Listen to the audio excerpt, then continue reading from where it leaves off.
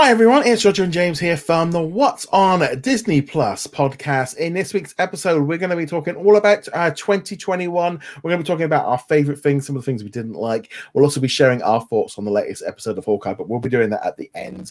So don't have to worry about spoilers or anything like that. So, um, this week's episode is a couple of days early because of um, Christmas, so we're not recording them, but we'll be back on re- regular uh, schedule from the 1st of January.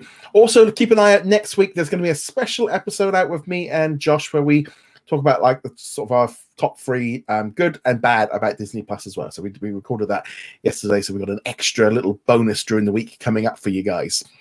Okay, so before we go any further, if you haven't already done so, make sure you subscribe either on the audio versions or on the uh, video platforms like YouTube. You can also find us over at what's on disneyplus.com. Quick reminder there's a couple of days left on the voting of our best of 2021 awards. That's going to be closing on this coming Sunday, so make sure you go vote on that one. Also, a big thank you and hello to all of our supporters on Patreon and YouTube channel members, including Sarah, Andrew Elliott, Jacob, Caleb, Red Mars Man, Arrow. We've also got Andrew, uh, Cody, Darren, and Lauren. Well, over on the YouTubes, we've got Ricky, Baba, Dave, Diona, Adam, Mohammed. We've also got Ben, Raphael, my VCR still works, Bina, Joshua, Dawn, Martin, Jeremy, and Sarah. And also to all of our Patreon and YouTube channel members of the silver tier as well. You know, all of your support, every little dollar all helps pay the bills and all the rest of it. Right. Now we've got that done. We're ready for Crimbo. You know, the, we're not going to include the Book of Boba Fett because it's sliding in at the very end of the year, but we're going to go through our best of the year. Um, and we thought the only way we can really start this off, and we've put it in its own special category. What are our top five Marvel series on Disney Plus? In what order are we going to go for? So, do you want to go start off, James? I will. Um, I'm going to give one more uh, caveat here just at the beginning.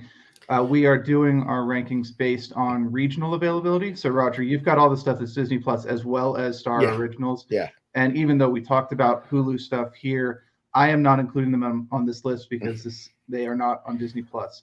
Uh, Yeah. That doesn't affect the Marvel category. Uh, the only two that are eligible for that would be Hit Monkey and Modoc. Hit Monkey's not available in Nope. in, So in Europe. Uh, don't don't worry, I didn't forget that. um, and and I don't think anyone will be surprised to find and that Helstrom, and we don't include, yeah, and we're not including Helstrom as well because that I didn't finish it. And the thing is, we were we we were thinking of like top series, and we went.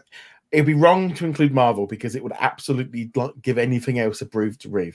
So, what was your fifth favorite of the year? So, so my fifth favorite or my least favorite of the group was WandaVision. Um, it was a good series, but I think a large part of it uh, depends on your love or nostalgia for sitcoms going all the way Mhm. back to the 50s and, and on up through the 2000s. As I said, week after week, sitcoms really aren't my thing. So I didn't really have the nostalgia thing. Uh, it still ended very strong. I loved uh, at least the last couple episodes. My favorite was probably the fourth episode when everybody, when we start seeing outside the bubble for the first Yeah. time, you know, uh, Darcy shows up and things like that.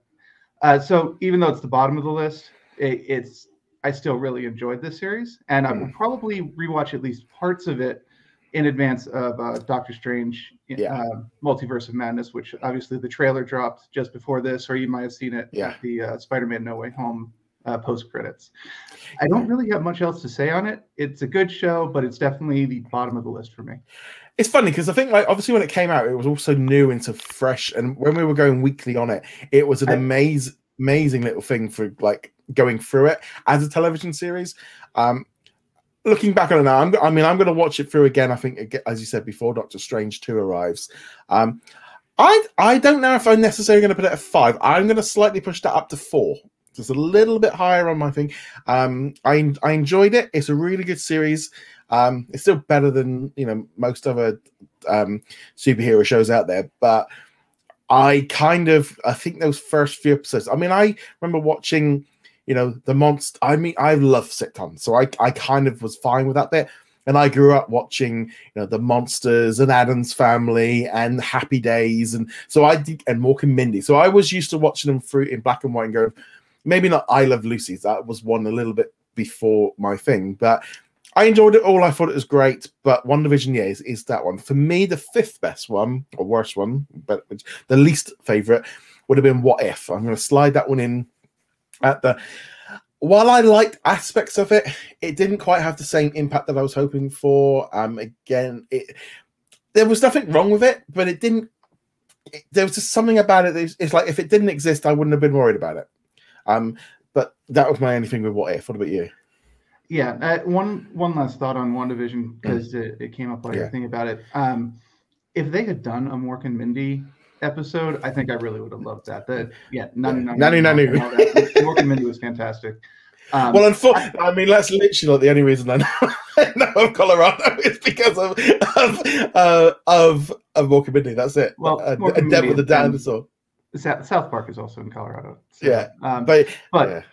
But yeah, if they had a Mork, Mork and Mindy episode, that would have been great. I would have loved to see Paul Bettany try to be Robin Williams. That would have yeah. been that would have been very interesting. Anyway, uh, so our bottom two are mm. reversed. My my yeah. number four is What If. Again, not a bad series. There's some really good individual episodes. We mm. actually liked different episodes. Which, yeah, uh, I love the zombie ones. The zombie you ones. love the zombie ones. I actually really like the Doctor Strange one. Um, I like the way they played with that formula. But. As the series goes on, you definitely realize there's only like three or four what if templates, and there's only so much you can do with them, and they kind of get a little samey and and some of them, particularly like the Captain Britain one, or sorry, Captain Carter one. Captain Britain's a completely different character. Yeah. Um, was just like, well, we're just gonna do First Avenger, but with Carter instead of Steve, yeah. and and oh yeah, Steve gets an Iron Man costume, but it, there really wasn't much to it other than let's just let's just have Captain Carter instead of Captain America. And then there were other ones that are just completely off the rails and things doing completely different, like the zombies one. I did yeah. like how they tied it in in the last two episodes. That was we yeah. weren't really expecting that. We we kind of sus- a little bit suspected, but no, mm. it's like everything's off on its own. So it's still good. Honestly, though, I don't see myself really rewatching it. Though. I might rewatch the Doctor Strange one before the Doctor Strange movie comes out again, again, eh, because there might be a hint of um, what's happened in that in this one. So it could be interesting to see how this works out. But yeah, I'd say that there. For me, in my third spot would be Hawkeye. Mm. Um, and I was actually a bit like imming and ahhing of Hawkeye and WandaVision of like where because Hawk Hawkeye's I've enjoyed it, but I don't think I'm on the same level as I was with WandaVision in in my excitement levels. I think overall, I think my love of Kingpin definitely um, helped with this kind of the finishing end of it. But we'll obviously get into that later on today. Um, but I really enjoyed like Yelena being involved. I think that added a little bit more humor to it. I liked Kate Bishop a lot. I'm going to be honest. Hawkeye himself is so boring. He's such a dull character.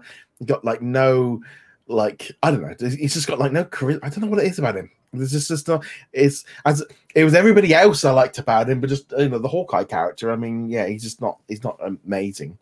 Yeah, uh, we'll talk more about this at the mm. end. Um, uh, I'll I'll save my thoughts yeah. for what for I put Hawkeye on my list. Uh, so my number three, I think people might be a little surprised with this, was actually Loki.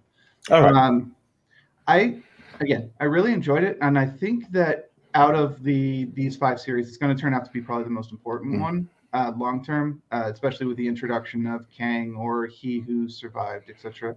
Yeah. Uh, in that last episode, but I don't know. I, I've got kind of the same problem with Loki as you do with Hawkeye here. I'm just like, he's interesting in little bursts, but I actually don't find the character super interesting, mm. so I'm not engaged with him. I actually found um, his alternate reality gender bent uh, yeah. Loki enchantress, whatever they're going to call her, uh, more interesting. Um, yeah. Yeah. See, for me, Loki's actually my was my favorite. Loki was the one that um I loved the the the it felt like I was watching a movie. It it it definitely felt in the at the highest tier out of all of them that if you know Hollywood actors involved, you know, because that could have been a movie with Owen Wilson and stuff. Um, the jumping around the, time zones and different places, and you never knew where it was going. And I liked it. I yeah. So for me, Loki was my favorite of the year from the Marvel side. It it hit it like I said, it felt like I was watching the movie. It didn't feel like I was watching a television because WandaVision was so strange that it was quirky, and Hawkeye kind of it did feel like a TV series at some point because it kind of went into it. Um, but yeah, so that was that was definitely my number one. What was your yeah. number two? Well, I, I, can't disagree with anything you, hmm. you said either. I just Uh, I think it's just basically Yeah. the premise didn't grab me Yeah. quite as much. It also had a little bit of the same thing that WandaVision, where uh, there was a certain amount of the entertainment factor was trying to figure out what was gonna, what was Mm. going to come next with it, which doesn't necessarily hold up quite well on on um, Mm. second watches or third watches.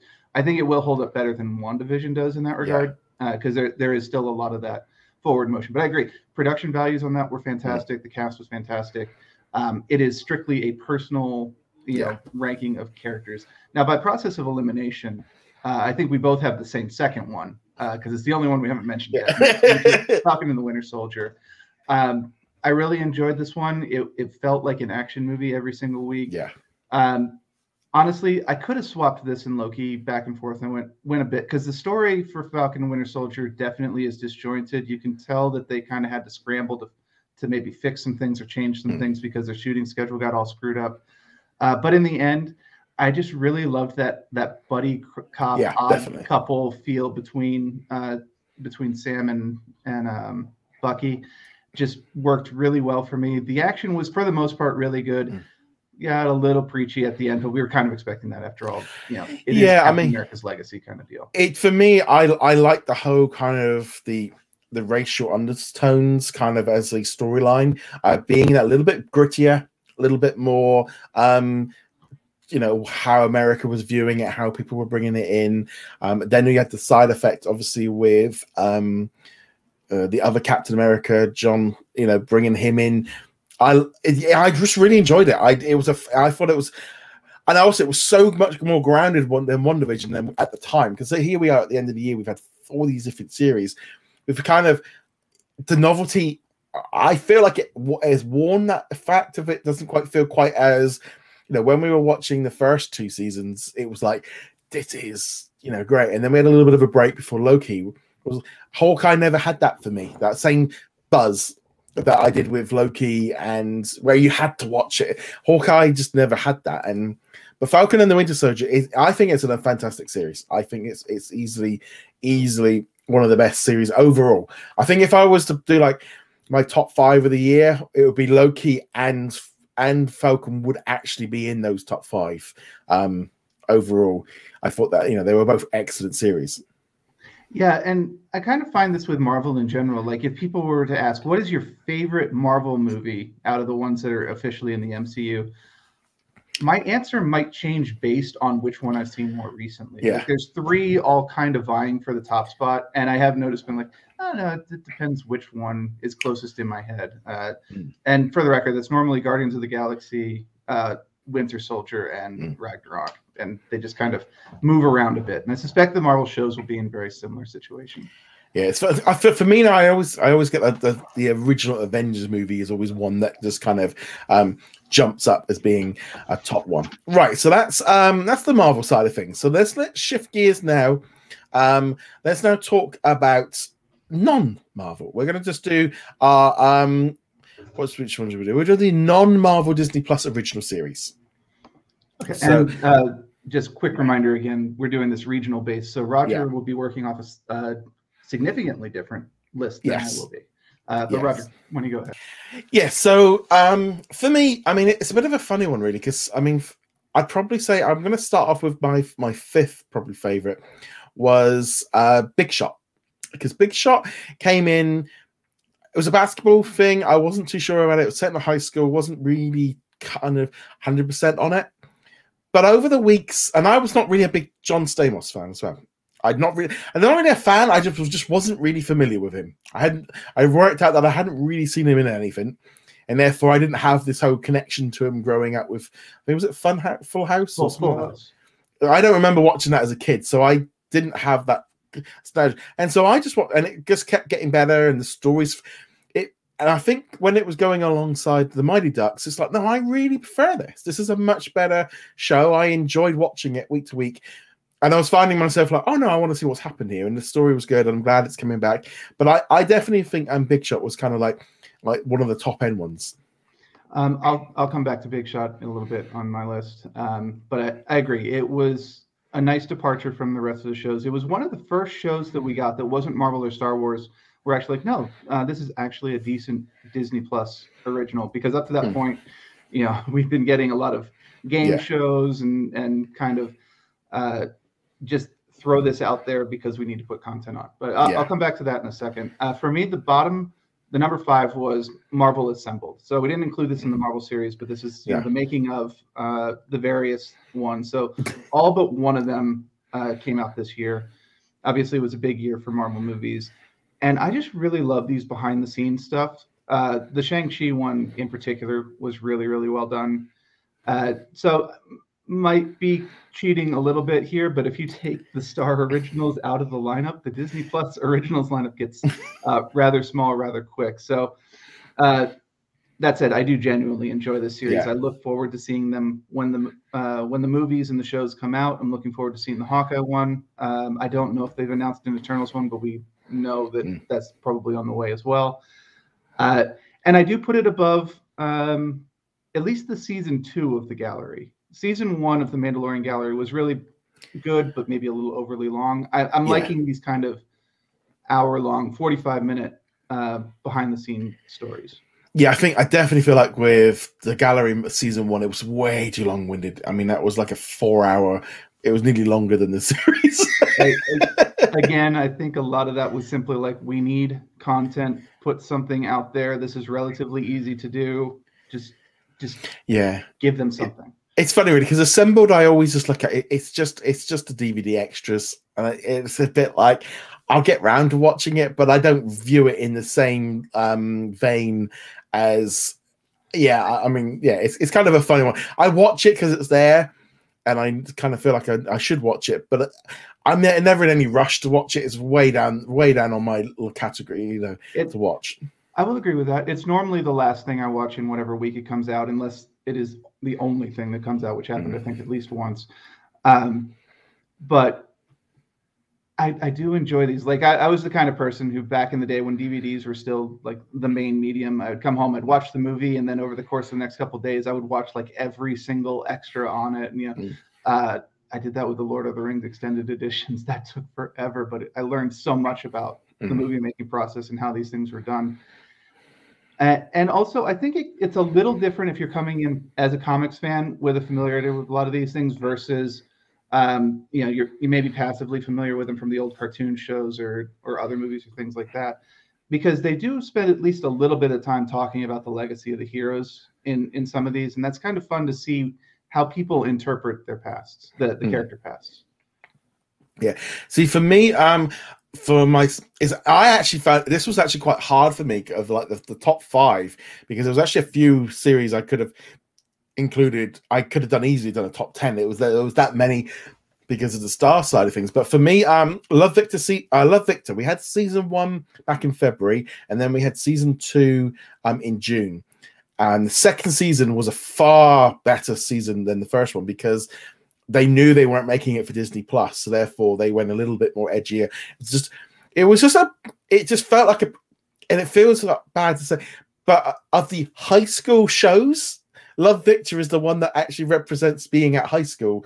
You know, with going to parties and sex and you know relationships and your parents breaking up. It's and it's so I it's so funny. Like you watch like Love Victor, then you watch like the Disney Plus versions. Like the kids are supposed to, are the same age, and there's such a a maturity difference. Um, you know, like they're 16, 17, and it's the same age as they are in Doogie, the same age they're in High School Musical.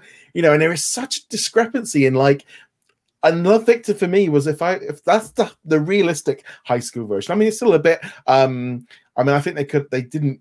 I don't think they really pushed in so much on um uh, the problems that he would have had had coming out at school. Um, may, you know, it might, it might. I mean, being our age is it's probably different. You know, had this happened when we were at school, it would have been a very different story completely. But I thought Love Victor. I think that was it's, it's a fantastic high school drama series. Um, yeah, it, it, it just that second season just kept like bringing it to that next level. Um, and I just really enjoyed it. And I was getting to the point of like every week going, I want to watch this, and that that's what you like. Yeah, th- this was a very good series. The only reason it's not on my list is because it's a uh, a Star Plus Hulu show, so Yeah. it's, it's ineligible on my side. But yeah, I, I enjoyed watching this every single week. Um, I think it's funny you say it's the most like authentic high school because they they are the the ones who would be least likely to pass as high schoolers uh, in a real setting. But taking that out of the equation, I think it is one of the more authentic representations mm. of, of high school. Uh, I do remember uh, talking about the final episode, and everything mm. kind of wrapped up very nicely yeah. in a bow. All the plot threads coming together at once, which doesn't really happen in real life, but you know, it's it's a show. Mm. There's always going to be concessions like that, and that final sequence I think it was episode four or five when uh, the two guys are, are yeah. about to to have their fun, and the mom walks in on them, and just oh, that whole uh, deer in headlights expressions. They nailed it, and it was. I I fell off my couch laughing at that yeah. scene. That and it's because it's so uncomfortable, isn't it? It was. Oh yeah. God, it was. It was yeah. so uncomfortable, and and that's not even like a a, a gay or straight experience. Just having your parents yeah. walk in on you is just like, no, yeah, no, uh, no. It, we're yeah. good. Don't don't need this. Uh, it's just it's a really good sh- series. Um, if you've got Hulu or if you're mm. on the European side of Disney Plus, give it a try. It, it's yeah. Good. Okay, so what was your um fourth favorite? Okay, so as I alluded to before, uh, mm. this was Big Shot. Uh, we mm-hmm. talked a bit about yeah. it, and again, we're going from yeah. a fairly serious high school depiction here to um, girls playing basketball with John Stamos. But as you said, this was one of the first series where we're kind of like, oh no, the Disney Plus originals can be pretty good. Now, this isn't super stellar. This isn't uh, absolute must go out and watch. But in terms of the Disney Plus originals, it's top tier. It it had an engaging story there were a lot of little plot twists and turns. They they had stuff for the younger audience with the girls having to navigate high school and that girl with the Instagram account and and all that. But also Stamos had, you know, the adult relationships going on. Yeah. And we got to see that. I do think some of the teachers went a little over the edge on caricature, especially the English mm. teacher in early episodes. And I don't even remember what which which he was, but the one guy who just really hated Stamos mm. at the beginning and yeah. kind of eventually warmed up to him.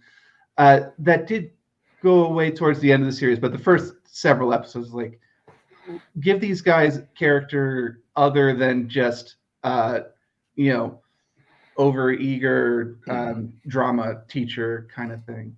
Yeah, because she was actually because she was a lot better in um, Doogie Kamealoha. She was a much nice. It's seen because I hadn't really seen her before, and seeing her in that as the mum, I was like, oh, you're you're actually much not you I much warmed to her as the character because I don't. There wasn't a lot of difference, but as, as just in general, yeah. just seemed a bit more nicer.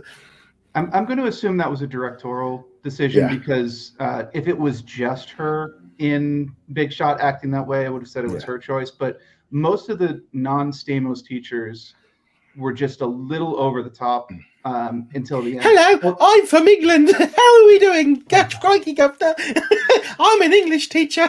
I think I blocked that out. I legitimately forgot. I remember just going, "Oh, shut up." he was no, like, "No, we don't talk like that."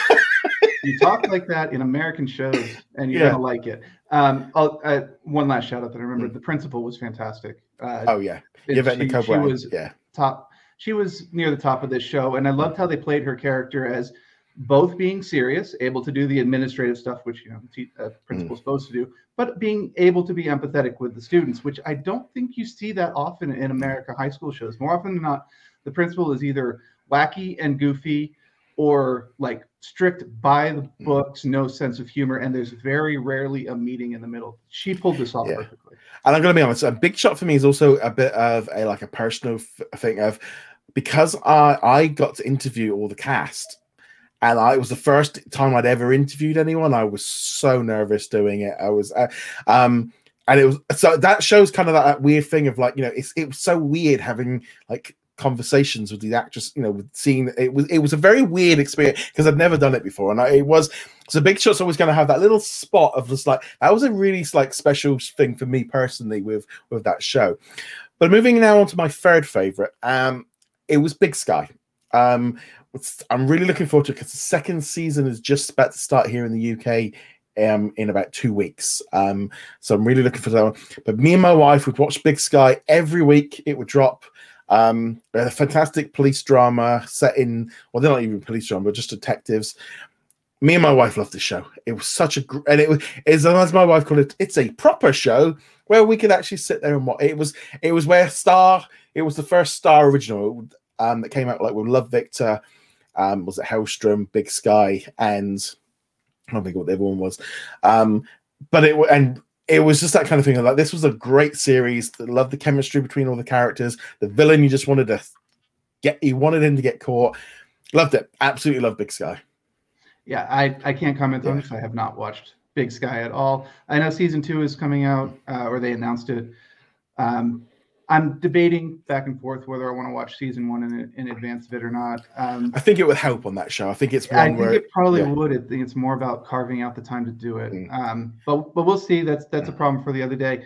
I, I have Yeah. no feedback. I've never seen it. no. What about your third one? So my third one, uh, we're gonna go with Star Wars: The Bad Batch. Um, you will remember I was fairly critical of the show when it came out, mostly because it wasn't really what I wanted from the show. You know, uh, I really wanted, you know, the Bad Batch, even though I didn't necessarily like the characters when they were introduced in the Clone Wars. Like the show's the Bad Batch. Could we please have the show be about the Bad Batch? And instead, it was a uh, friend of the week that you know Dave Filoni or whoever wanted to to bring into Mm. this show, uh, which is kind of ironic because season two of The Mandalorian was very similar. They just executed it much Yeah. better. Um, that said, it still is a good series. There's a lot of interesting action to it.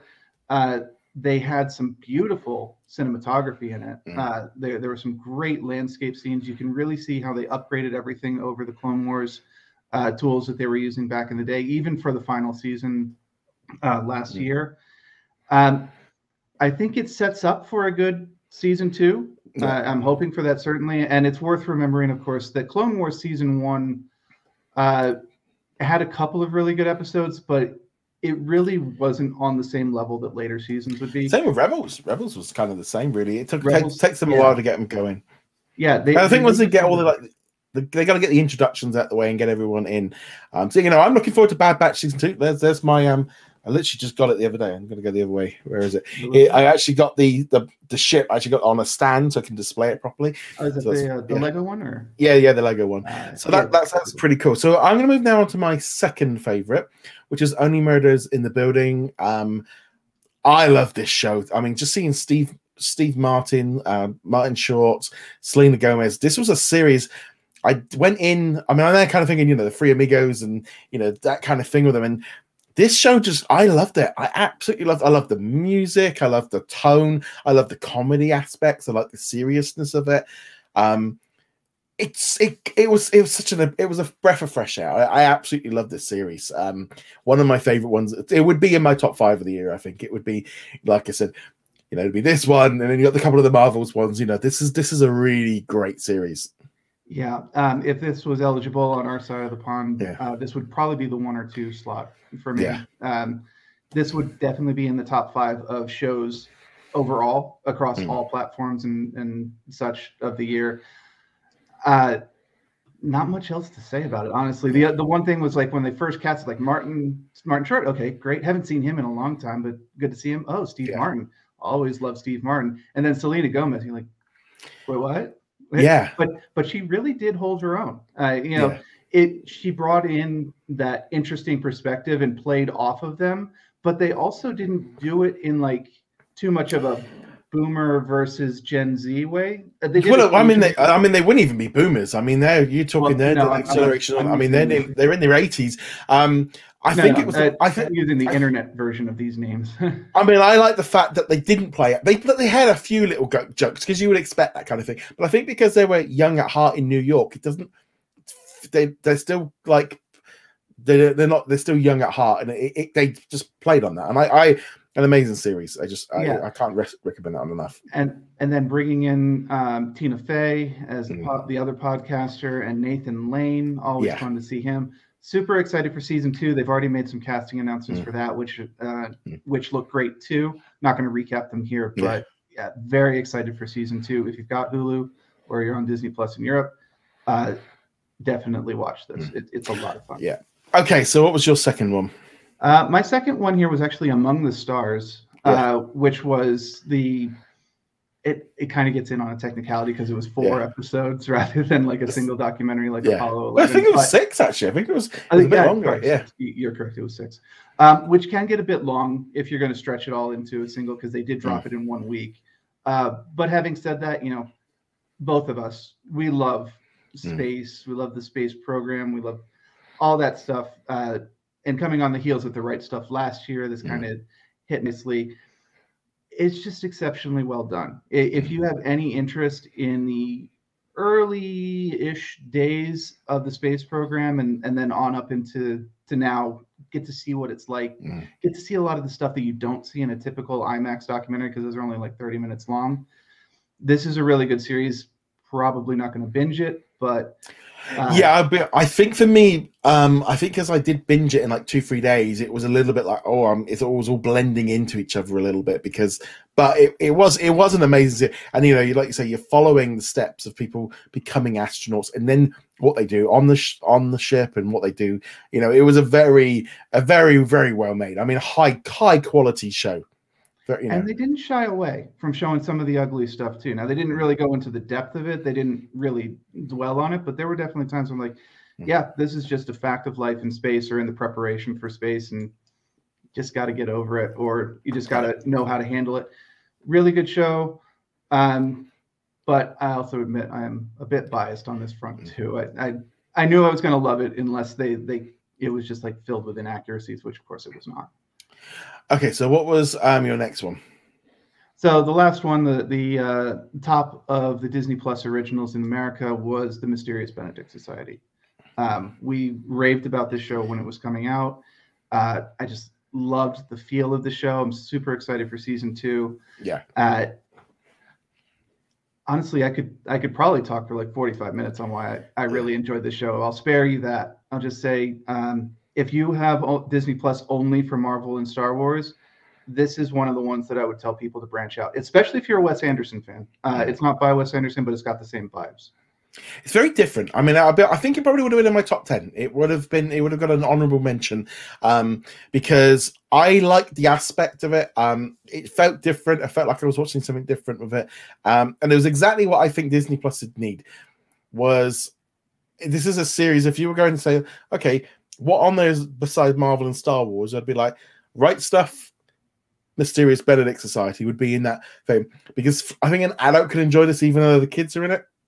Um, again, a, a great, a great, great series. I also it was lucky as well. I got to speak with the cast of this movie earlier this year, and that just made made it even more enjoyable because it was just like it was just such, such a fun. You know, the you know the kids in it are great, and it it is just um, a really lovely series, and kind of it is a just a really lovely series. It's and can't speak highly enough of the kids um, because this particular type of acting is is actually mm. really difficult for the kids. There's a very emotionalist mm. feel to it, and most kid actors are taught to to be over expressive, you know, to, to stand out. And they they did the deadpan very well. But then also the adults had some very interesting stories. I was particularly uh, fond of uh, calling him a henchman is not really the right thing. Yeah, like Milligan was it? Milligan? Yeah, Milligan. Yeah. Uh, Benedict's sidekick was. Yeah. I, I, loved watching his story just kind of come together, and he was played so perfectly in. Yeah, it was funny because I saw him in that, and then um, later in the year, because I was binge, binging my way through The Walking Dead, he then becomes he's a major villain, hmm. a major character in The Walking Dead. So it's really weird seeing because I kind of seen him first in Mysterious Benedict Society. Um, yeah, it's yeah, that's and I'm gonna as well. Um, uh, season eleven was a exclusive, so technically it wasn't an original for us, but that was another one of my favorite um new shows of the year for us on Disney Plus. So I'm moving on to my last favorite non-Marvel series. I'm gonna say Dopesick. Um, Dopesick was um, an incredible, incredible series. It was I mean, heartbreaking. It was infuriating. It was ups. The the acting in it was amazing. It's a stellar cast. I mean, it just feels like you're watching a movie. I mean, it did help. I think because I watched the first two episodes um, at the London Film Festival on the big screen. Um, but it just it there's something about it. It just like it, I mean, me and my wife would watch it every Wednesday night. That would be like our Wednesday viewing. Um, would like after after, and it was just like we just it was just it was just great. I was completely caught. You know, phone off, straight in, straight down, and like completely caught my attention. This was just Michael Keaton and it was amazingly act- acting it. It was. This is a top series. I, I loved it. It was so dry. It was yeah. It was it was on a different level than anything else that we've seen. I think so far of the year. Uh, th- this would have been my number one as well. That this was just an all-around fantastic series for all the reasons you said, and I think the only thing I really need to say about it is that for every other Disney Plus Star original that we watched, I watched them with the Yeah. English release dates. Uh, Mm. So even though they dropped completely on Hulu, I'd watch one episode at a time. Mm. Now there was some confusion about Yeah. when this was going to release, and you were a couple of weeks behind, Mm. and, so forth. But I ended up watching the whole thing over the course of like five or six days, and it's just like this is the only show that I did that with uh, Yeah. that we talked about on this. And I think that alone is really all you need to know. Mm. This was a great series. Um, I did talk to one of my coworkers who Mm. apparently his his wife got addicted to that uh, Yeah. to oxy um, Oxycontin, yeah. back in like 2012 or something like that. And so he went through the whole rehab process with her, and he Yeah. said he can't watch this because it's just too real for him, Oh yeah. uh, which I totally get. So if you're in that situation, if you have uh, had this affect your family directly, you may want to hold off on watching Well, it because it is very, very. I think I think like from obviously from my point being looking out for, for, like from the UK over at the US, it was like I wasn't. I remember that you know like being out in America and then we were talking about it and stuff, but I never really understood. I this kind of highlighted the situation. It, it was just an amazing series, and I it's it is it would be um just one of the one of my top ones. Um, moving on from there, um, any honorable mentions that you couldn't quite fit in because I need I've got a few that um, but anything else you wanted to just throw well, in? if, if we go things that you into the, the if we get the Hulu um Mm. Hulu and and Star originals, yeah, I can get a couple of honorable mentions. But honestly, Yeah. for for the American Disney Plus originals, even then I was kind of reaching. That that's that's kind of why like a Marvel uh, Assembled showed up on the list when it probably really didn't have any reason to. Yeah. Um, but you've actually already Yeah. mentioned the ones that I would have included. Um, Yeah. well, I, I, I'll yeah. sort of the, the Gloaming was a series that aired here in the UK. It was another show. It was an Australian uh, police drama which aired on Stan in Australia, and it was released over here in the UK. And it was these two detectives tracking down um, murderers, but it was like a bit witchcrafty. Uh, me and my wife watched. It was a bit spooky, a little bit crazy. Um, it was just um, it, it was a really good. It was just a really good series. Um, and I think as well, being set in Australia and in, on Tasmania, it's a bleak and hot, you know, really in the winter. And it, it's it was a really good series. I just I just I wanted to bring that one up because it was like between that and Big Shot, I was like, oh, yeah, it was pretty close for me of just like what to go for.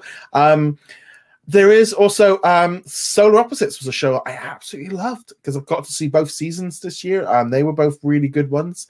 Um, they they were really good shows that I just fell in. You know, I'm completely in on those characters now because they are just they're just bonkers.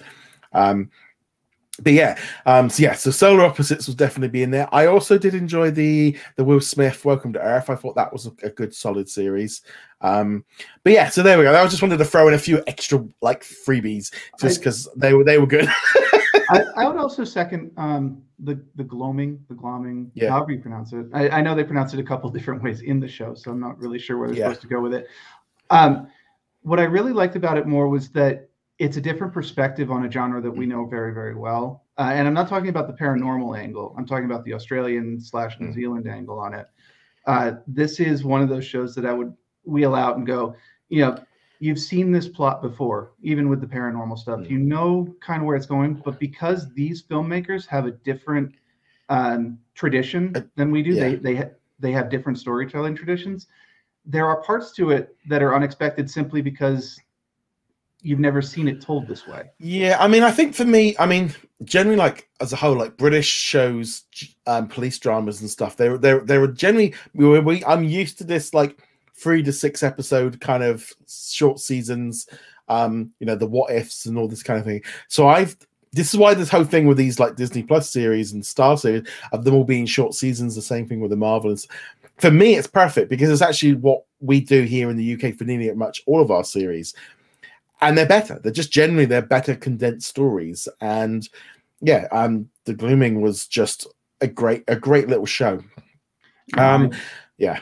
I just one last thought on that. I Mm. I would always agree with that. Normally, I I far prefer shorter series that are much more focused than uh, these long expanded American uh, seasons that we get. And, and the the classic example we always bring up would be like the Marvel Netflix shows where Yeah. they were they were kind of compressed. Well, Even they were- I mean- over long. Yeah, I Uh, mean, you think they're they're 13, but when you think like uh, Agents of Shield and stuff are like 22, 20 odd episodes, um, you know, and they were just fluff, you know, they were fluffing for most of it, They- um, which you don't get so much. you- you can tell the difference between even um, like the eight episode Defenders, which Mm. wasn't necessarily a great series, but was focused all the way Yeah. through, versus you know Agents of Shield. They're going over to the CW shows like The Mm. Flash and Superman, where you just like you've got to fill 22 episodes. There is going to be a lot of fluff and filler and junk, if we're Mm. being honest. Yeah. I'm gonna. I think we could have done with another episode of, of Hawkeye in between to kind of stretch it out. That yeah, we're starting to get the other end Yeah, of the spectrum yeah. now. Where it's kind of like no, no it, you've got the time. Expand it out a little bit. We'll come back to that in a minute, though. So let's now shift over to the movie side of things. So let's now shift to um, our favorite original movies. Now, um, as far as like the Star originals, there's only really going to be one on my side. Um, but there's been there wasn't a, it wasn't as as an a big impressive one as maybe we had hoped for this year. It- the movies were, I think they were lacking because not only the pandemic when they didn't shift as many over, but because we were getting premiere access and then we got we've started getting all the theatrical releases dropping in. In some, in mo- in many ways, 2021's movies are far better than 2020's, but because of the theatrical ones, it feels like we've had a lot bigger ones. But um, let's start off with the originals. What was your um, well, what were some of your highlights? Because I mean, we probably So, want to do a top without- five because I think that's all there was. Without Star, without Star, the, the the pickings were very very slim, and in fact, uh, Yeah. Ron's Gone Wrong was originally on this until you're like, no no no that that's actually not a Disney original. Dang it! Now I need to find another one. well, we Um, only and- had what four? We well, only we had, had. Well, this is why Dire? I, I'm Yeah. I'm dipping into the National Geographic's bucket here Yeah. to fill out the list. So, um, number five is going to be the rescue. Uh, this was Yeah. about the uh, the children trapped in the cave. It came out a couple of weeks ago. Uh, don't take it being number five as as me thinking it wasn't particularly. This is actually a really really good documentary. Um, I think almost everybody watching or listening to this will probably remember some form of those events because they weren't that long ago. Uh, but this really does set the stage, lay out the problems, uh, show the challenges, and then you really do feel like the like there is a triumph at the end of it when they get the kids out. Uh, spoilers if you don't remember the news from a couple years ago, I suppose. But uh, Yeah. this is absolutely well worth watching.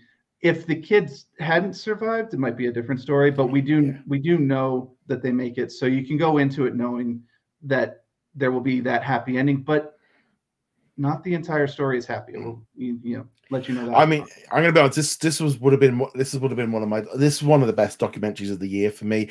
If this doesn't get nominated for an Oscar, and if it doesn't pick one up, I I I would be very surprised. I mean, I can see the first wave picking it up on its on the tone of what's going on right now, but um, I think yeah, I think that the, the rescue is is an is an amazing documentary. It- I mean, I was completely captivated by it, completely just sucked in. Me and my wife watched it together, and we're like, "This is a fantastic documentary." Um, that was a really good one. Um, actually, in retrospect, I probably should have put this higher. I think it ended up at the bottom mostly because it was like, I need a fifth. Oh yeah, this came out. And Yeah. that without really thinking Um, yes, it's, uh, it's that kind of thing. It's like for me, like like the movies. The other one that um I really enjoyed this year was Vacation Friends, which was with um, John Cena. This was a Star original series and a movie, and then it was on Hulu in the US. Um, just a fun hot trip to Mexico that goes crazy. It's a fun movie. It's stupid. It's not. It's not. It's not. It's not meant to be fun. It's not meant to be anything other than that. It was fun. And in a summer and in a year when we've not been able to leave this island, get away, um, this was as close as we could get to Mexico. And I love Mexico. And um, I just, I, I thought this was a fun movie. Um, it was stupid, funny, and you, I can't go wrong with that. I just enjoyed it. Th- this was really good. Um, again, uh, Hulu, so it's not eligible on my side. Uh, this is not the type of movie I typically watch. Like stupid Mm. comedies aren't my thing, but I did genuinely enjoy this. And you know, even a couple of years ago, if you said John Cena would be making good movies, you can like, uh, you know, I know The Rock's doing okay, Yeah. but Cena really? And then between this and The Suicide Squad, um, which was otherwise not a particularly good movie, but Cena was really good in it. Uh, it's just like, all right, let, let's see what you got, Cena. I'm looking forward to Yeah. his solo series on HBO Max and seeing what other movies he's got down coming down the pipe for us. Yeah, I gotta find out where I can watch that in the UK. I don't know where it's coming on to. Um, so it's a bit in terms of like the other movie for me really was Luca. Luca was um an amazing, an amazing film. I loved it. Again, it had that summer vibe of of Italy, and you know the idea of being off in some far distant shores and being able to have a vacation. I love the brightness of it, the colors, the characters, the with Stupido Bruno, and it just was fun. And I just really thought it was a nice, fun, easygoing movie, and I I I loved it. It was just it was just a lot of great fun. Um, and I I can't really. It, it was. I think that's it. It's just fun.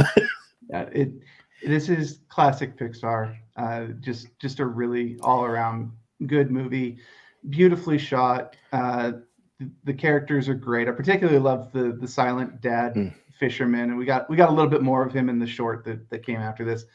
Um, this was actually my number one for Yeah. the year. Um, just just fantastic movie, and I can totally understand why uh, Pixar might be upset that this did not get a proper Mm. theatrical release or, or even a premiere access.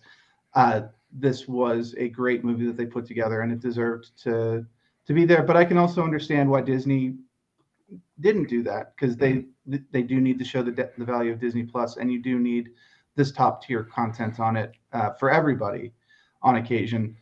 Um, yeah, I, I hope that Pixar will, will get back into theaters, that they don't become Mm. the the straight to Disney Plus, uh, even if Yeah. they do keep the level of quality, because they do deserve to. I'm really hoping with. I'm really hoping with Turning Red that at least get a 30 day like encounter kind of opportunity to kind of show it. Again, the trouble is with the like the movies this year is like like you know we've mentioned like you know they literally was like that Diary of a Wimpy Kid, Home Alone, and I'm just trying to think and Flora and Ulysses. There was literally like only four movies technically that were Disney Plus originals, um, and yeah, Flora and Ulysses was fine for what it was, it, but it was completely unmemorable. Home's Sweet Home Alone was yeah, un, unremember. You know, you didn't even make it through. Home, Home Sweet Home Alone was junk. I will come out and say. yeah, Um, Flora and Ulysses actually mentioned that. That that's Mm. my third one. I think if I was reordering these with more thought, it would Mm. go below the uh, the the National Geographic's documentary. So we already mentioned. Mm. Um, I basically treated this as a Squirrel Girl movie uh, from the Marvel universe, which is a character that I I really adore. That said, it it is a fun, fluffy, otherwise forgettable movie, but it is well put together. It's fun. Uh, not much else to Mm. say about it, but it it it does make for a good just like uh, Yeah. stick the kids in front of this and and let them enjoy the antics of this superpowered squirrel. Um, so I think that pretty much wraps up the movie side of things. I know you um also there's also the specials because this was that, that kind of thing of technically um there was a few special releases of the year which I- included um the Muppets. Yes, so I included this on the list mostly Yeah. as a technicality, but the the Muppets Haunted Mansion, I really enjoyed this. Um, it, it felt like classic Muppets. It felt Mm. like you know they really hit their stride with this. The cameos um, were entertaining without being you know in your face or overblown, which can be a problem with Muppets movies. The humor really hit, and then of course, I just enjoy the Haunted Mansion ride, and this was a nice little tribute to the Haunted Mansion. Um, yeah, it, I you could debate whether this is a Disney Plus original or not, but again, kind of had to reach a bit. Uh, that's Yeah. this, this is still number two on my list, and that does include um, reordering with the National Geographic. Since This was just a lot of fun. I'm totally Yeah. watching it again next year for Halloween. Uh, this might become one of the, the staple annual watches. Yeah, because I think the thing is, it's like I was thinking, like like with like movies as general, because obviously we've had we've had to. I think we've had a really good run of movies. Probably, you know, we had you know we've had Raya, we've had Black Widow, we then had Jungle Cruise, Free Guy, Shang Chi, and then I was going, and then and I'm going, well, actually, those are like the five major releases on Disney Plus, so that's the top five. so it was a bit like it's like kind of worked because we just didn't really have a lot of movies released. Um, I mean, Cruella was okay, but I, I, am it was okay. It just was, but you know, generally as a whole, Disney Plus looks a lot. It looks a much better place of all these new releases because of getting things like Shang-Chi, which is just an incredible film. I mean, probably one of my favorite movies of the year. I love Free Guy. Yeah. Actually, just real fast. Um, yeah. There, there were a number of Marvel movies this year. Mm. We didn't prep this one in advance, so this is off yeah. the top of the head. How would you rank the Marvel movies of the year? Um, I'd probably go Black Widow. Then I would go with Eternals, um, Shang-Chi, Spider-Man. I would reverse Black Widow and Eternals, but otherwise, same list for me. Yeah, Black Widow was fine, but it, it, it just didn't excite me. Um, I've, I've I've got like no real. I mean, I yeah, I watched it twice on Premier Access, and it was just like, yeah, okay. It it um Yelena is the only thing I liked about it. I didn't like Black Widow. She's just boring. Just just a boring character. I could have done more with Red Guardian as well. There was a lot of potential in that character, and and they they kind of undercut him by making the serious scenes uh, turn into punchlines for jokes on him, which I think might have been a mistake. Um, we'll talk about Eternals next year when that comes into to Disney mm-hmm. Plus. But my really quick take on it was I really respect what they tried to do with it. Uh, there were a lot of very interesting ideas in it. I think the execution didn't mm. quite make it there though. So I was I left with frustration. Yeah. I, I enjoyed it. I, I went into yeah, that one. Obviously, we're gonna watch it. We're gonna watch it again when it drops on July the twelfth, and then we'll talk about it because I actually do want to watch it again, and that's that's a that's a that I think is a good thing of like going. Actually, no, I do want to watch it again because of um I think I went into it like going, and I feel like I might know a little bit more going into because I went in blind on that one. Um, like I said, there's lots of other ones. So there we go. So that was our like best of 2021. Now then I'm going to flip this and again, no pre prep on this one. So if you had to pick um, your worst original, so we're going to have five. So we're going to have five each movies, end series, anything at all. What would you think? So I'm I'm going to kind of um, I think you need a list of what you need a list. It's definitely this is the thing. This is why this is why I was like bringing up um like See, I mean, obviously, I have got some of the star stuff as well, so I, I got a little bit of an extra advantage on this. But um, it's like that there was there was a lot of fluff. There's, you know, there's been a lot of fluff this year on terms of what has been on Disney Plus. Um, now, you know, it, there, there, like I said, there were some big ones. There were some disappointments. Things like Next and Rebel, like being cancelled, and Y: The Last Man being cancelled beforehand. But for me, I mean, it it was like I think Stuntman was probably the one that stood out as being such a disappointment because of such a slow and plodding documentary with like one five minute decent bit at the end. It was such a plodder. Yeah, it was uh, so that was that was definitely in, in like my like in my just disappointments of the year. Yeah, so so these aren't going to be ordered because we're no, kind of doing no. this off the cuff. I would 100% agree. Stuntman was actually the second one that came to mind for me. Yeah. like you've you failed at your most basic task, which is to tell me why I should care about this person that you're making the documentary about. Um, it it seemed almost like. Mm, excuse me. It seemed almost like an Evel Knievel documentary rather yeah. than about this guy. And like, I already know I don't like Evel Knievel as a person. Like his stunts are fantastic, but as a person, I, I yeah. do not like him. So if you're hero worshiping him to this extent, I'm not sure how much I feel about you, mm. uh, the person in the film. And and then it was just kept going and going. Like, get to the point. Yeah. Uh, the stunt at the end was was decent. I'll give it yeah. that. That was entertaining. But if you're gonna watch this, just cut to the last 10 minutes and go from there. You're not missing much of anything. Um, also, to be fair, the first one that came to mind we already mentioned, which is Home Sweet Home Alone, is like this. awful. It, it, it's the thing is, it's like I remember watching and going, it's not as bad. It's not. It's not terrible. It's not dreadful, but it's really hard because we, me and my wife, we watched Home Alone again, the original one again. Um, I think like a week or two ago, and I remember getting to the end of it. and I turned around and said, they really shouldn't have bothered with those other ones because this is so good. You know, we're watching this like 30 plus years later going, this is such a good movie. They why have they kept trying to recatch this? Because it just does never work. Um, yeah, Home Sweet Home Alone would definitely be on my list because you know it, it, it, it's a shame because I think the problem was, and I still think it was making the villains the good guys mess, messed it up. It just made it like you you didn't you know when they were getting hit you did whereas when you're watching the sticky bandits getting hit you wanted them to have it you know they were nasty little oh, it was, yeah it was Yeah, such a no. fun They, they failed at basic fundamental storytelling, which is you have to dislike the villains more than you dislike the hero. You can have an unlikable hero. Uh, you know, there are plenty of movies uh, with heroes that you're like, in normal situations, I would hate you, but the people that you're fighting against are so much worse. I'm going to root for you now. That that is basic action movie storytelling, and, and the Home Alone movies are basically action movies for kids. Yeah. Um, so right out the gate, you're like, this kid is a little snot, and I don't like him at all, and I feel bad for the villain. So you're you're already off on the wrong foot. Uh, yeah yeah, it, this was just a misfire. Why are you making this? Even the movie itself, which is where I turned it off, was like, why are people making remakes? They're never as good. Like, yeah, you nailed it. So, um, yeah, I'm. Yeah, I was gonna say another one of mine um, has to be Doogie Kamealoha, MD, um, a series which is like I love the setting, the Hawaiian setting. I actually thought that worked really well. You know, the actors and that. I even think the actors and stuff. They all. I've not got a problem with what they did, but the stories were so dull.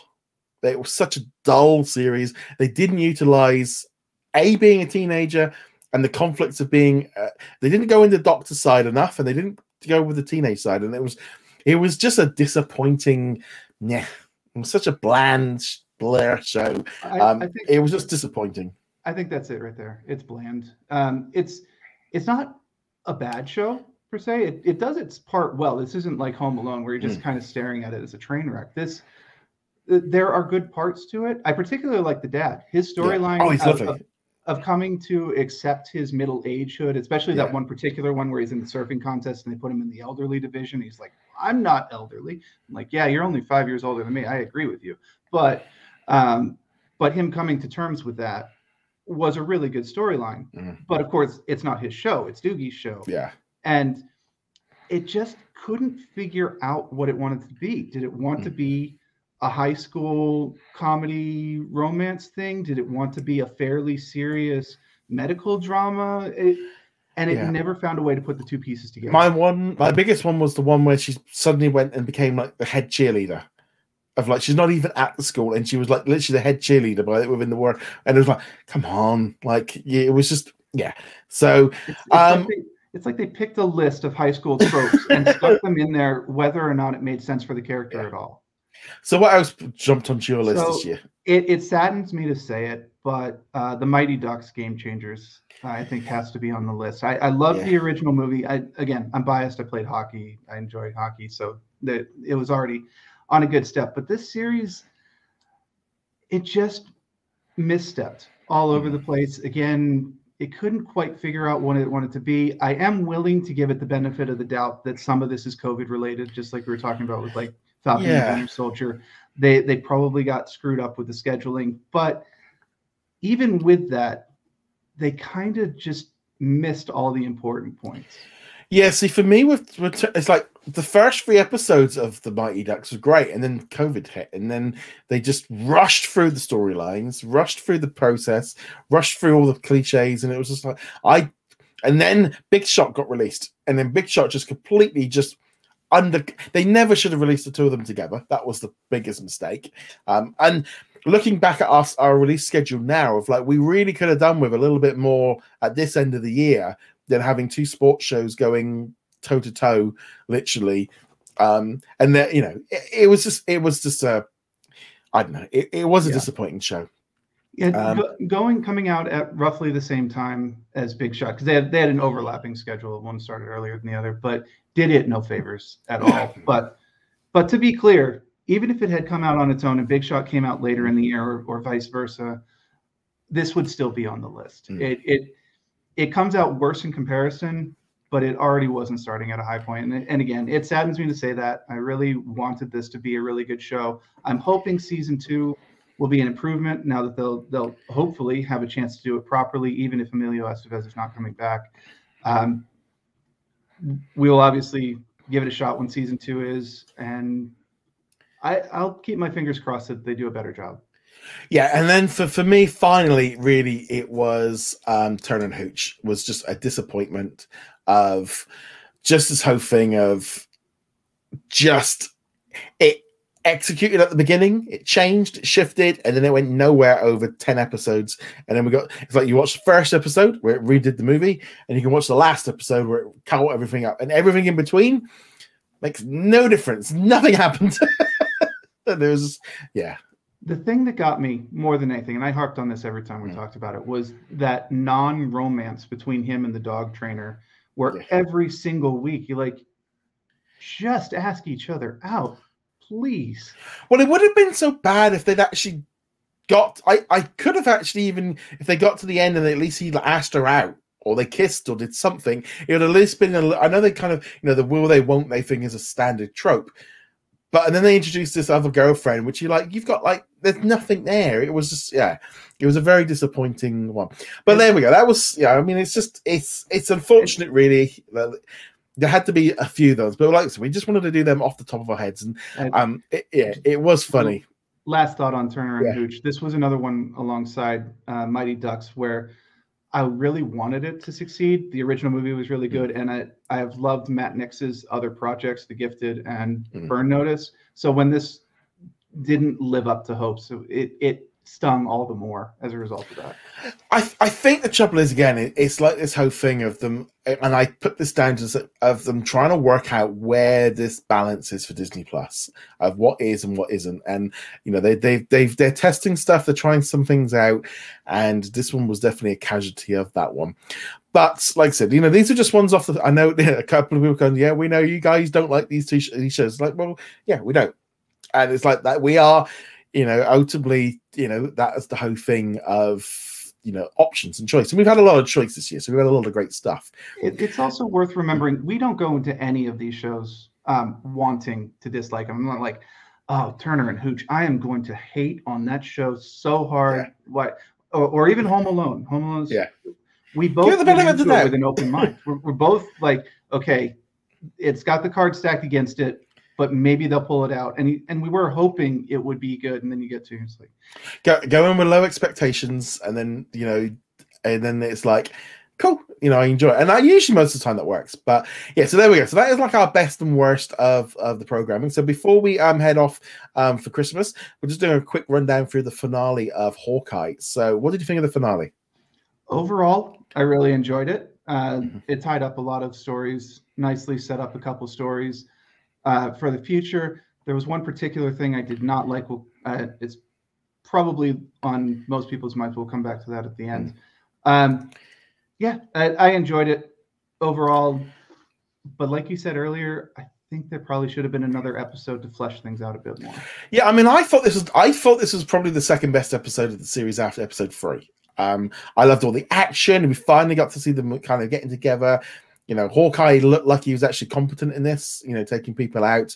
Um, it's still that kind of thing of guys are taking on this tracksuit mafia, which are kind of like the, the rent a cop video game like thugs. You know, you guys are really struggling here at this point to take, you know, you've taken on much worse than this.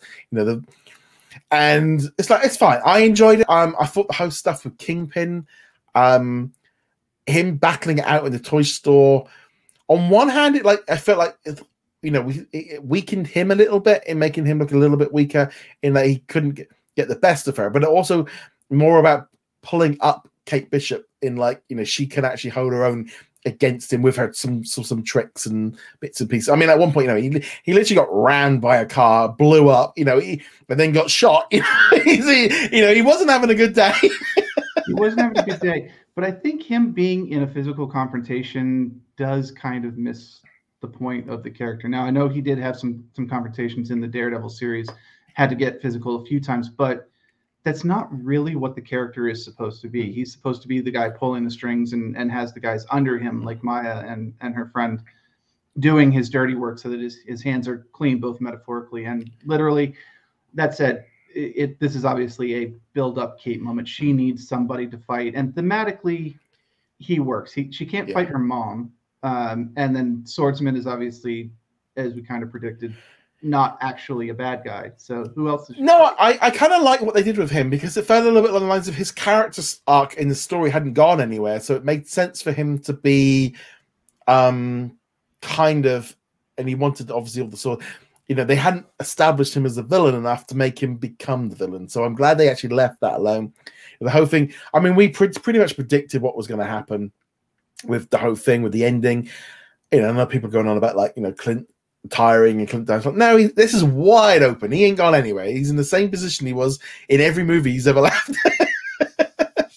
there is a solid implication that he is going to hand the title off to Yeah. Kate and if not retire, at least take it easy and let her Mhm. handle the Hawkeye problems, which I'm totally fine with. Leave him available, um, but let Kate be Hawkeye moving Mhm. forward.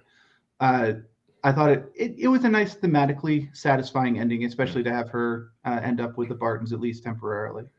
But it made sense. I mean, if you know, if you if you just had your mother arrested, you know, at least you might want to take him in for Christmas. So I, I thought that was all fine. It hit exactly what I wanted. Um, wasn't so keen on the idea that they were doing all of that because of the watch, because it was a her present or a gift from Shield.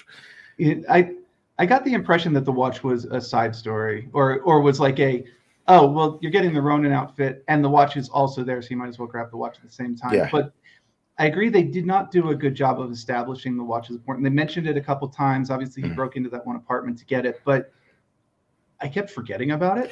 Well, there's been a lot. There's been a lot of speculation because it's got like the number 19 on it that it's um Mockingbird and she was Mockingbird and you know has that outdone the Agents of Shield and the whole host of Easter eggs going down a thing and going maybe it's just a watch and she was at one point Agent 19 she retired or whatever and somebody else Bobby Moore took over you never know. Yeah, Um, but- they, they this one I'm I'm willing to kind of let them have it both ways on this. Yeah. Um, as long as they don't go back and do a prequel series with her and Hawkeye and explicitly state what it is. Let let her be Mockingbird point one Yeah. and Bobby Morse um, from Agents of Shield B B two oh or whatever.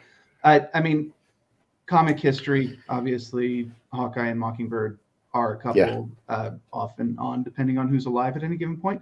Uh, I hope they just leave it amb- uh, ambiguous. Just just have it be a fun Yeah. little Easter egg and, and leave it at that. And We don't have to mess mess around with uh, the continuity of Bobby Yeah. Morris and, and this and that. So yeah so i mean overall i thought i i enjoyed the season finale it didn't hit on the same level that any of the other shows did from the other the other three ones wasn't For me- so yeah uh, sorry. The the thing for me was I appreciated that it was low level. I mean, yeah, Yeah. the, the tracksuit mafia is like okay, um, you're you're literally not a threat at all. But I, I liked how they did that, where it's like okay, this is just going to be Clinton Kate beating these guys up. They they uh, they are so on a different level that they're just taking out an entire squad of these Yeah. guys without even worrying about it. Uh, a little corny, a little cheesy, but it was a fun sequence. Uh, sorry, what were you going to say? I was going to say my big thing really was was like the post credit scenes because we didn't have anything decent. We ended up with a musical, which kind of surprised me. I was expecting there to be someone sat in the audience or something kind of, um, and it like kind of went, really? Why did they? I I guess they maybe wanted to give the full version of it because people wanted to see it. And like I, I understand, I could understand it being a, like a mid-season credit, and then we have another one to kind of set Yeah. something up, but they didn't do it. And I think I was a little bit disappointed that we didn't get a, you know, they will return in season two or Echo coming up or something just to kind of that was. I mean, you don't have to do these things, but it kind of felt like it. it- I remember a bit. I think it was Spider Man where kind of Captain America sort of sits there and goes. So what are you waiting? You know, like what are you Yeah. doing here? Kind of thing. It kind of felt a bit like that. Yeah, no, it, it was a fun little musical sequence, um, intentionally cringy at, at points, obviously, and that was kind of the point of it. Um, but yeah, as an end credit sequence, this was entirely unsatisfying. I think if it had been mid-season, just kind of a little fun thing to get us through through the, it would have been fine. And then something else here. Uh, and I was also doing the same. It was like, uh, is there going to be a character in the audience? Like, is Yelena going to be watching this? Even that would have been fine. Um, because they kept cutting to the the director. and like, why are you cutting to the director? Am I supposed to know who this is? Yeah. I I'm kind of hoping that was the actual musical director. Like, it finally Yeah. give you know one of them a shot at it. It's like, but get to the end, it's like, why did you do this? Th- This is Yeah. a complete. I, out of every MCU movie and show that we've done, this is by far the most disappointing end credit Yeah. sequence we've gotten. Um, and I'm going to use this to, to leap into my one other complaint here was I really would have liked an end credit sequence that set up Echo or at least kind of underscored whatever happened in the alley after the, the camera tilts away. Mm. Because um, obviously we've seen this this sequence thousands of times in movies Mm. where someone's pointing a gun at somebody and then the camera cuts away either you know it, it tilts it pans or or Yeah. we get a scene transition and then you hear the gunshot but you don't see what happens and the implication obviously is that she killed kingpin but yeah. It's but not we've that. seen this so many times it's going to be like she shot into the air or she shot him in the chest and we already know he's got a bulletproof vest on because he got shot with the arrow Mm. and it's like give us something on this Uh. I, you know, some people go, "Oh, he's dead because she shot him." Like, yeah, that's the most basic. Like, yeah, but I- I, I, it's a kind of a shame because in some way, you know, Kingpin was built up so impressively within the the Daredevil series, and then this kind of took it and just like instantly just tried to. They did adjust him, you know, much more like more like he was in the comic books. You know, a little bit more, um, just your average villain kind of thing. But I'm really looking forward to seeing where this goes. Kingpin's going to be, I'm sure, going to be a big, um, going to be around for a while. Um, overall, it was it was a solid finale. It wasn't, it didn't, it kind of finished off that series going, yeah, okay. Book of Boba Fett next week. it's kind of like, yeah, looking forward to that. Um, just finishing the thought on Kingpin. Uh, even if they did kill him at this sequence, we can still expect he'll be in the Echo series, Yeah. at least in flashbacks. Oh, they did kill him. There's no way they brought him back I- just to kill him. Well, the way I'm reading it right now is they're leaving their options open. Um, because I wonder if they need to do some contract negotiations and they wanted to leave it open in case they Well, weren't able to. it. In the comic books, there's a thing where she shoots him and in the and he's blind for a bit. So That- like, that's um, that's, thing.